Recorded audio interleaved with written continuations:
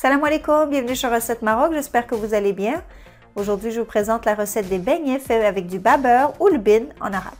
Ils sont moelleux et parfaits pour le petit déjeuner ou le goûter. Bismillah, on commence par préparer la pâte en ajoutant les œufs dans la cuve du robot. Rajoutez le beurre fondu et le sucre à glacer.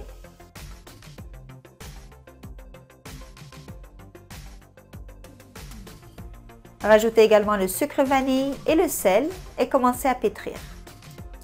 N'oubliez pas de rajouter la levure chimique à la farine et de bien mélanger.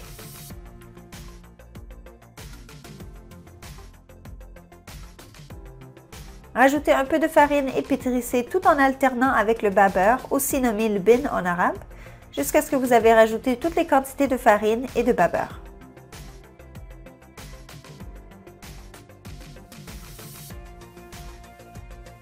Pétrissez environ 5 minutes.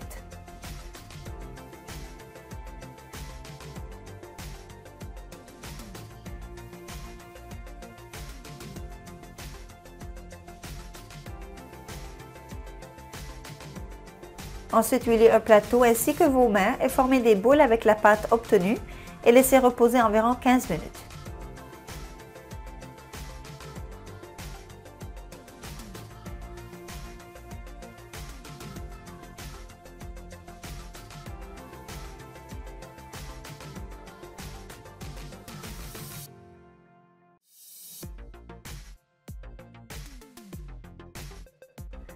Ensuite, utilisez soit le bout d'une douille ou un petit emporte-pièce rond pour façonner le trou au centre du beignet.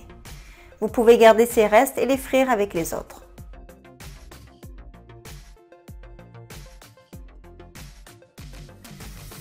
Chauffez l'huile végétale et faites frire le beignet jusqu'à l'obtention d'une belle couleur dorée.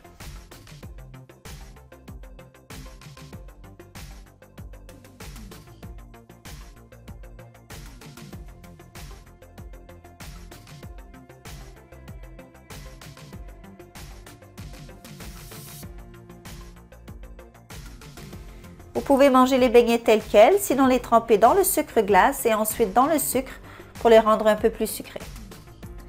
Ces beignets sont moelleux, pas huileux du tout et parfaits pour le goûter.